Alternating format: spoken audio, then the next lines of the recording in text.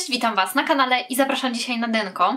E, nazwę to denkiem z wakacji, bo zazwyczaj nagrywam denka co dwa miesiące, natomiast teraz, przez to, że właśnie to był czerwiec, lipiec i sierpień e, i w tym czasie Często wyjeżdżaliśmy na, na dwa dni, na trzy dni. E, nie byliśmy co prawda na takich wakacjach tygodniowych na przykład, ale wyjeżdżaliśmy na dwa dni, trzy dni i ja na, przez te właśnie takie wyjazdy nie korzystałam tak dużo z kosmetyków, które mam normalnie w domu, bo na wyjeździe właśnie miałam albo jakieś miniaturki, albo nawet próbki. No i takich e, kosmetyków już tutaj Wam nie pokażę, bo je zazwyczaj po prostu wyrzucałam e, na wyjeździe. I dodatkowo też byłam kilka razy mm, u moich rodziców. No i wiadomo, jak odwiedzałam tam ich na 2-3 dni, raz tam byłam chyba na tydzień u nich, no to tam wszystkie kosmetyki są i tak naprawdę zabierałam ze sobą tylko jakieś tam filtry przeciwsłoneczne, coś do opalania, no i ewentualnie coś do makijażu, ale balsamy, jakieś e, żele pod prysznic i różne kosmetyki takie,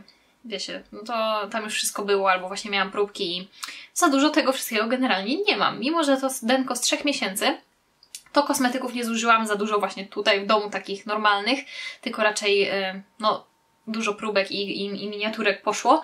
No ale mm, zobaczcie, Zobaczcie, co udało mi się w te trzy miesiące zużyć. Pierwsza rzecz to żel pod prysznic z Ziai, mięta herbaciana i to są w ogóle, to wyszła jakiś czas temu, nie wiem, jakoś tak latem generalnie, albo no chyba latem. E, taka cała linia, tak mi się wydaje, że to było lato, może ja się źle orientuję, ale nieważne. E, taka linia e, żeli pod prysznic takich, z takimi bardziej naturalnymi składami. Są różne, chyba jest pięć rodzajów, ja mam trzy. E, I pierwszy, który udało nam się zużyć, to właśnie ta mięta herbaciana. To są kosmetyki wegańskie, 95% składników pochodzenia naturalnego.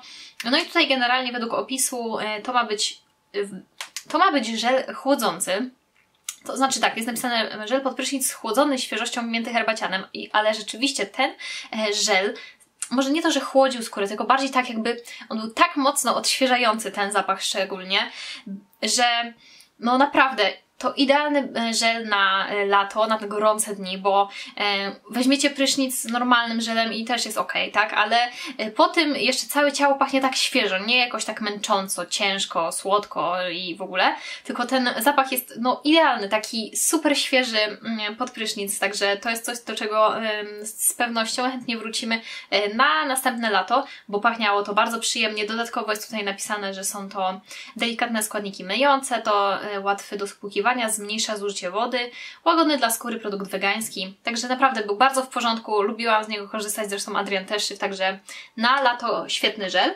E, I jeszcze mamy tutaj dwa żele z Avonu, z serii Naturals. I, i zobaczcie w ogóle jakie zapachy. Tu jest truskawka z białą czekoladą, która nie tak dawno została wycofana z, ze sprzedaży, jeśli dobrze kojarzę. E, więc no to pewnie część z Was kojarzy jeszcze. E, to nie tak dawno. Przyjemny, ale bardzo słodki zapach. Natomiast drugi żel, którego już od dawna nie ma, ale znaleźliśmy e, go jakiś czas temu e, u Adriana w torbie na siłownię. Wiecie, wiecie wiadomo jak to na siłowni. Czasem Adrian bierze tam prysznic, czasem wraca już do domu i od razu tutaj bierze prysznic, więc ten żel tam u niego w tej torbie przeleżał sporo czasu. No i miał taką końcówkę, no nie wiem, takie jedną czwartą opakowania e, i jak ja zobaczyłam ten żel, to mówię dawaj to, no bo pewnie już trochę stary on jest, zobaczymy czy jeszcze da się użyć, więc spokojnie. Pachniał ładnie i cały czas jak czuję ten zapach tu w środku, to jestem zachwycona bo to jest mleko z miodem, już tej serii dawno nie ma, a były, wiadomo, tam wszystko, jeśli się nie mylę, to był jakiś balsam do ciała, no i właśnie, czy krem do rąk nawet e, i, i żel pod prysznic, przepiękny, taki ciepły, otulający, słodki zapach, bardzo przyjemny, więc z wielką przyjemnością zużyliśmy tą końcówkę, a generalnie jeśli chodzi o te żele, to one są taniutkie i całkiem przyjemne, tutaj jest 200 ml e, i ja je lubię, także mogę Wam polecić, natomiast e, tego z jaj jest 500 ml. Następnie dwa balsamy do ciała, Pierwszy to mm, też Avon Naturals, praktycznie takie samo opakowanie jak tamte żele, właściwie takie samo, tylko tutaj był balsam. E, to jest zapach różowy grapefruit i morela i powiem Wam, że no oczywiście wiele razy Wam polecałam ten zapach, także czy mgiełka e, gdzieś tam na wyprzedaży Wam się trafi, czy właśnie taki balsam, to polecam. Zapach bardzo przyjemny, owocowy, ale no taki nie za słodki, super, naprawdę świetny jest, nie jest męczący, ale co chcę Wam powiedzieć, to ja bardzo lubię korzystać z tych balsamów właśnie z tej serii, kiedy nie, nie chcę czegoś takiego ciężkiego, tłustego, tylko właśnie jakiś taki lekki balsamik, który szybko się wchłonie, ale też delikatnie tą skórę nawilży. I bardzo często latem korzystam e, z tych balsamów, bo ja właśnie latem potrzebuję tego nawilżenia, co prawda zimą też, bo tam e, zimą od ogrzewania mam suchą skórę, no a latem od słońca. E, no i zależnie, czasem mam ochotę nawilżyć skórę tak, wiecie, czymś lekkim, na szybko, żeby się szybko wchłonęło i korzystam z takich balsamów i bardzo je lubię, bo tak jak Wam mówię, szybko się wchłaniają, delikatnie co prawda nawilżają, ale to jest takie przyjemne, że no właśnie wiecie, nie oblepia. Natomiast e, czasami bywało tak, że miałam już mocno suchą skórę i wtedy chciałam czegoś takiego intensywnie nawilżającego i sięgałam właśnie po Nakomi. Mus do ciała to jest dokładnie borówkowy sernik. Przepiękny zapach. Tutaj już e, nic nie ma, chociaż możecie chyba trochę zobaczyć, że to jest takie delikatnie fioletowe. I tak, te balsam, te musy, one mają taką tłustą e, formułę, czyli Wyjmuję z opakowania mus, który jest z takiej dosyć stałej konsystencji. Wiecie, da się to nabrać na dłoń. I dopiero w dłoniach, jak się zaczyna rozsmarować, to się rozpuszcza do takiego, no niemal olejku. E, I to jest tłusty produkt. E, może nie, każdy, nie każdemu się to spodoba, natomiast e, super jest to nałożyć na jeszcze mokrą skórę, bo wtedy trochę tej wilgoci się jeszcze zatrzyma mm, na ciele. Dodatkowo łatwiej się też takie tłuste produkty rozprowadza po mokrej skórze. No i bardzo fajnie fajnie to nawilża, także właśnie jak miałam potrzebę mocnego nawilżenia skóry, to korzystałam z tego na komi e, i ja je uwielbiam. Już nieraz miałam wiele zapachów, zresztą teraz w łazience znowu mam jakiś tam mus, tylko o innym zapachu, także to są moi ulubieńcy, polecam serdecznie, tylko od razu mówię, że no to są tłuste kosmetyki, ale naprawdę fajnie nawilżające. Następnie z Oriflame seria Feel Good, e, zapach Be Happy, pomarańcza z kurkumą. Jest to, e, to był mus pod prysznic, bardzo przyjemny, ja bardzo lubię te musy, niezależnie już naprawdę tak właściwie od zapachu, bo one są takie kremowe, bardzo takie przyjemne. E, no i zapach też był bardzo ładny. One może nie są jakieś specjalnie wydajne, tu jest 150 ml, to wiecie, dosyć szybko się zużywa, szczególnie, że taka frajda, jak się wyciska tą piankę i to jest takie przyjemne na ciele, więc no może też właśnie szybko, szybciej gdzieś tam to znika, ale y, generalnie kosmetyk przyjemny, więc jak gdzieś trafię znowu na wyprzedaży, to chętnie się skuszę. Następnie zużyłam y, płyn dwufazowy do demakijażu z Avon Nutra Effects. To był taki z warstwą olejku żółtą i powiem Wam, że ja bardzo lubię ten kosmetyk. On mnie nie szczypie w oczy, nie podrażnia mi skóry właśnie ani wokół oczu, ani gdzieś tutaj na buzi, e, a bardzo ładnie rozpuszcza wszystkie kosmetyki wodoodporne oraz oczywiście no nie tylko wodo, wodoodporne, jakieś tam zwykłe kosmetyki, po prostu bardziej trwałe, mm, coś zastygającego, czy usta, czy oczy. To świetnie mi się sprawdza, także e, Właśnie nie wiem, nie jestem pewna, czy teraz mamy jakieś opakowanie w zapasie, ale pewnie jak kiedyś trafię na jakąś fajną promocję na te mm, produkty, to sobie zamówię, bo u mnie on się naprawdę dobrze sprawdza. Na skórze zostaje tłusta warstwa, więc normalnie trzeba ją potem umyć, ale to wydaje mi się i tak y, jakby dla mnie to jest i tak oczywiste przez to, że wszystkie płyny micelarne trzeba zmywać z twarzy jeszcze, więc y, no jakby to dosyć raczej dla mnie przynajmniej naturalne, chociaż wiem, że to jeszcze nie jest chyba jakieś takie specjalnie popularne, że płyn micelarny trzeba zmyć, ale no mam nadzieję, że z czasem jakby ta informacja stanie się bardziej popularna i wszyscy będą e, zmywać płyn micelarny jeszcze z buzi. E, no dobra, ale dalej tonik. Kolejny raz tonik ogórkowy. Wydaje mi się, że jak ktoś mnie ogląda, to raczej już robi teraz takie wiedziałam. Więc hmm, mój ulubieniec, ulubieniec Adriana, używamy jedno opakowanie za drugim. Kolejna rzecz to coś, czego wcześniej sama nigdy nie widziałam, e, na pewno u nikogo, a w ogóle sama byłam zaskoczona, jak zobaczyłam to w sklepie, bo kiedyś będąc z moją mamą i z Adrianem na zakupach w Auchan, e, szukałyśmy z mamą e, jakichś dezodorantów bez aluminium w składzie. No i trafiłyśmy na coś takiego. Firma nazywa się Kosmia, Kosmia, tak. Nie wiem, czy ja to dobrze wymawiam, czy tak się to dokładnie czyta. Nie mam pojęcia, ale tak to wygląda. Są przeróżne zapachy. E, kupiłam chyba dwa albo trzy zapachy mm, z tej serii ale trzeba czytać składy, żeby się przekonać, bo tu nie ma żadnego oznaczenia na opakowaniu, że to jest bez aluminium. Dopiero jak przeczytałam skład, to się okazało, że aluminium nie ma. I też pamiętam, że jeden chyba zapach miał aluminium, więc faktycznie trzeba uważać i przeczytać skład, w którym, w którym właśnie z nich jest to aluminium, a gdzie nie ma, jeżeli oczywiście Was to interesuje, e, bo ja zwracam na to uwagę, więc e, ucieszyłam się, że znalazłyśmy właśnie te. I to pierwszy plus, że to było w Auchan, więc łatwo dostępne. Druga sprawa, e, to wybór zapachów, bo jest bardzo duży i takie są mega oryginalne. To znaczy, może zapach waniliowy to nie jest coś super wymyślnego, szalonego. Natomiast, yy, natomiast jeżeli chodzi o dezodorant, antyperspirant w kulce, to chyba się jeszcze nie spotkałam z czymś takim, chyba że po prostu, no nie wiem, nie słyszałam. Natomiast rzadko spotykam waniliowe żele pod żele. Yy, antyperspiranty, więc naprawdę byłam zachwycona, jak zobaczyłam ten waniliowy zapach. E, czyli dostępność, zapach i cena. One kosztują chyba 3 czy 4 zł, więc są super tanie, ale minusem z kolei jest to, że ten produkt nie jest jakiś mocno chroniący, więc na przykład u mnie na lato sprawdzał się tak przeciętnie, szczerze mówiąc, ale to na pewno będzie dla mnie świetne rozwiązanie na zimę, bo no zimą nie poce się aż tak intensywnie, a też chcę mieć jakąś ochronę, więc Latem on tak średnio sobie radził, natomiast zimą u mnie będzie się sprawdzał świetnie, więc mm, mam jeszcze w zapasie jedną wanilię i jeszcze dwa inne zapachy. I też będę w ogóle sobie kupować na pewno następne opakowania, bo mm, zimą będzie mi on wystarczał, a na lato po prostu będę sobie musiała dokupić coś mocniejszego. Także jeżeli Wy nie pocicie się jakoś intensywnie, to polecam zwrócić uwagę właśnie na te antyperspiranty w Auchan. Kolejny kosmetyk też jest do ciała, ja tutaj tak mieszam raz twarz, raz ciało, wybaczcie, ale no po prostu wyjmuję z tej torebki tak jak mam je powrzucane. Więc kolejne co tutaj jest to Love Potion Midnight Wish. Jest to perfumowany krem do ciała, a właściwie był to perfumowany krem do ciała z Oriflame. No oczywiście o zapachu wody, mm, o tej samej nazwie. Mam ją też, tylko że pierwszy oczywiście skończył się balsam. Zapach dosyć przyjemny, chociaż powiem Wam, że z czasem on jest dosyć intensywny i właśnie z czasem jak go używałam, to miałam już takie poczucie, że jednak chyba na te cieplejsze miesiące on był dla mnie trochę zbyt intensywny. Zresztą tego zapachu, jeśli chodzi o wodę, tam już nie pamiętam, czy ona jest perfumowana, czy toaletowa, no to też jej nie używałam w ogóle przez te ciepłe miesiące. Dopiero gdzieś teraz na jesień, zimę do tego wrócę. Także no w sumie też się nie dziwię, że zaczął mnie z czasem e, zapach męczyć. Natomiast on jest przyjemny, tylko akurat nie na cieplejsze dni. E, a co do e, tego balsamu, to jest coś mniej więcej na poziomie tych z Avonu, czyli to jest leciutkie, e, delikatnie nawilżające i też szybko się wchłania, e, no a dodatkowo to ma też e, intensywny zapach, także to jest całkiem ok. Ja, ja jak mam ochotę właśnie na takie lżejsze balsamy, to też właśnie takie perfumowane się sprawdzają.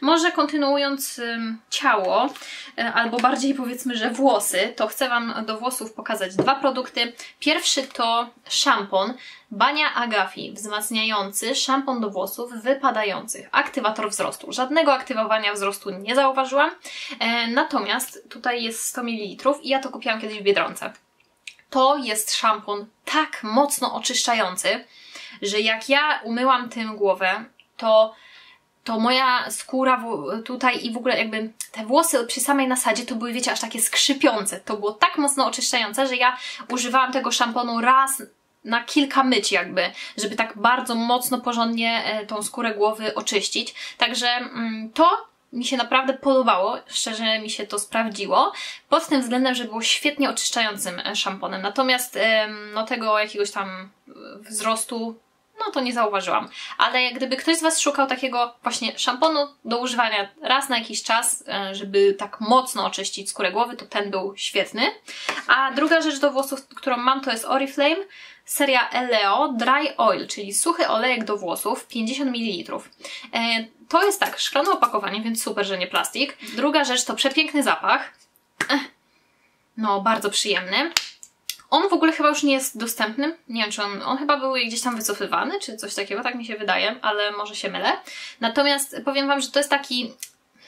To był taki dla mnie kosmetyk trochę bardziej jak chciałam te włosy nabłyszczyć, e, jak chciałam na końcówki coś takiego właśnie nałożyć, żeby one były ładniejsze, takie bardziej błyszczące, bo to nawet nie jest taki kosmetyk wygładzający, tylko bardziej właśnie nabłyszczający. To jest taki olejek, tylko że nie jest w dotyku tłusty, wiecie o co chodzi.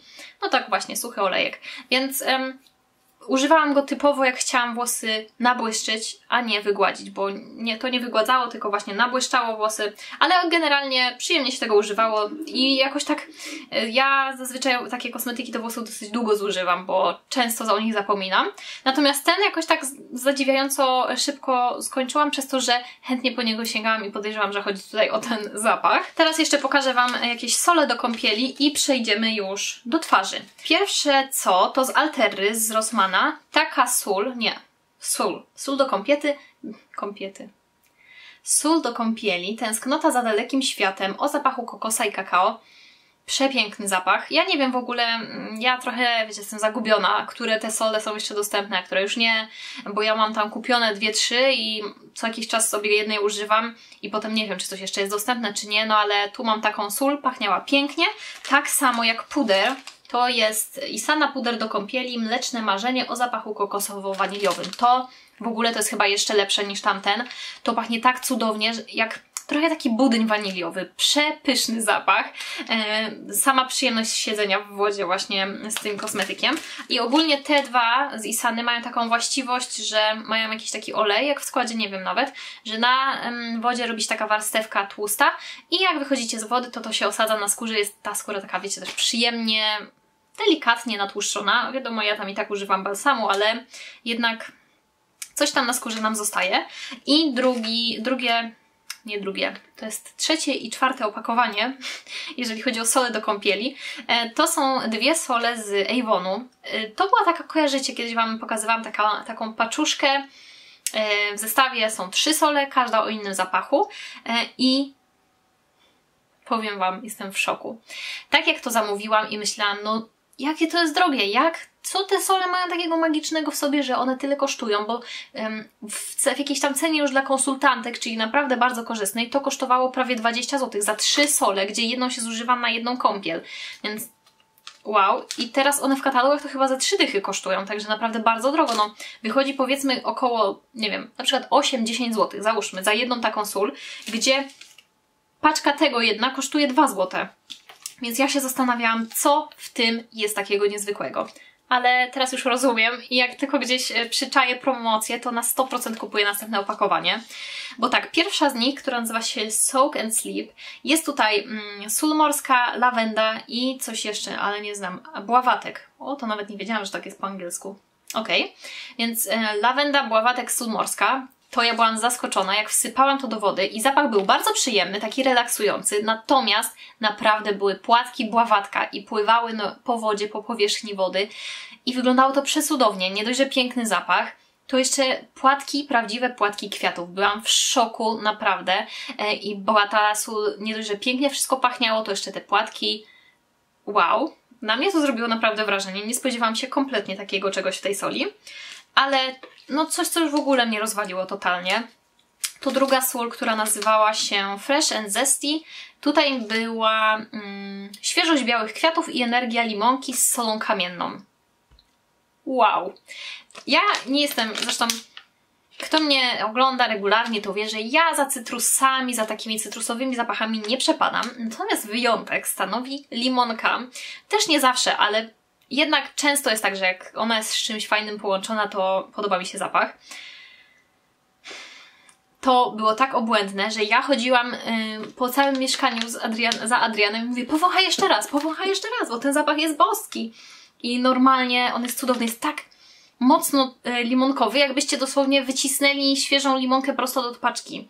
Dosłownie tak to pachnie. Cudowny zapach i tak intensywny, że jak nasypałam sobie soli do wody w łazience, to było czuć w, praktycznie w całym mieszkaniu, bo jak chodziłam, to cały czas go czułam, więc nie mam pytań. Tutaj nie było już żadnych tam kawałków czegoś, e, skórki na przykład z limonki. Nie, nie było, ale zapach był przepiękny, intensywny.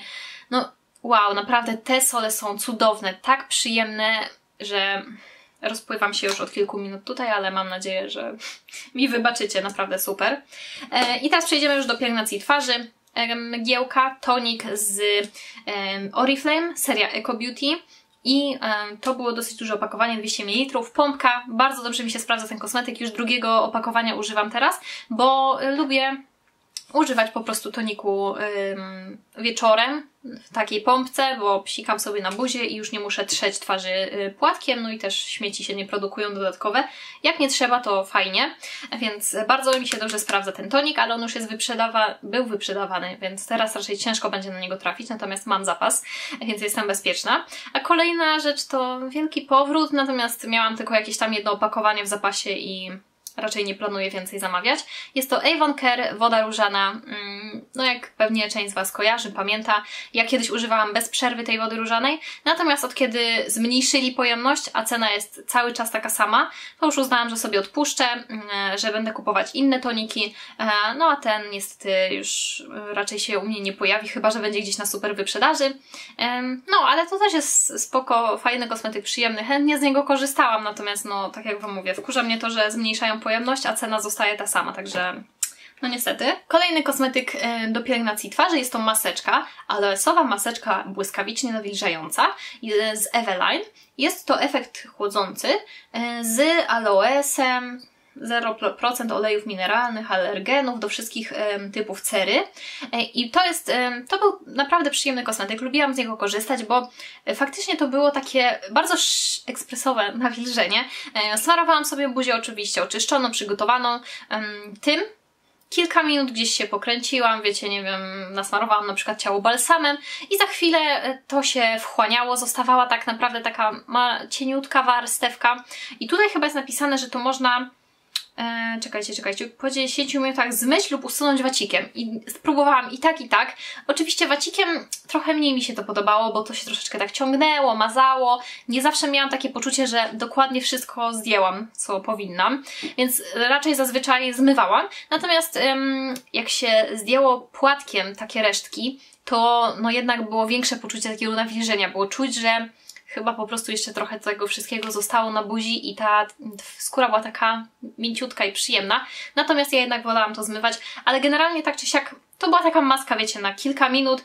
i w moim odczuciu całkiem przyjemna. No może ten efekt nie był jakiś długotrwały, ale całkiem, całkiem przyjemny, także to było ok. E, kolejny kosmetyk to coś, co ja bardzo lubię używać i zaraziłam Adriana, czyli Optimals um, Oriflame. Seria Hydra Radiance. Jest to krem do twarzy na noc i to jest um, krem, którego ja uwielbiam używać latem, dlatego teraz właśnie go Wam um, pokazuję, e, gdyż to jest bardzo lekki krem, a też przy tym super nawilżający.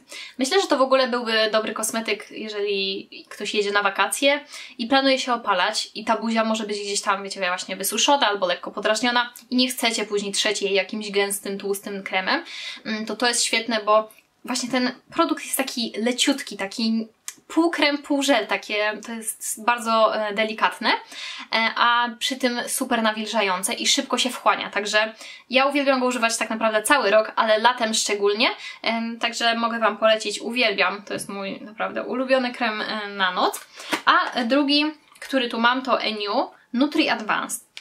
Oni z tej serii dokładnie Nutri Advance mają dwa kremy. Jest y, lekki, chyba się nazywa ten jeden, a ten jest taki bogaty gęsty e, i w ogóle to jest takie, bym powiedziała, nawet bardzo gęste, bo to nie jest takie, takie jakby, nie wiem jak to opisać, takie, to jest tak gęste, że jak ja paznokciem to nabieram, to, to się robi taka kulka, która, wiecie, no nie rozpływa się, tylko trzyma się w miejscu. Jest taka naprawdę twarda, że można to normalnie złapać tą kulkę i podnieść. To jest takie bardzo, bardzo gęste, e, ale ten, tego kremu właśnie używałam, jak potrzebowałam Jakiejś takiej dodatkowej porcji nawilżenia. Zamiast na przykład mogłabym tego używać zamiast przykładowo olejku, który mógłby być dodatkowym e, krokiem w pielęgnacji, no to ten krem jest tak gęsty, tak bogaty, taki może nie tłusty, bo on nie, nie zostawia takiej olejkowej warstwy, ale jest taki bardzo gęsty, wiecie, czuć taki, że on jest treściwy.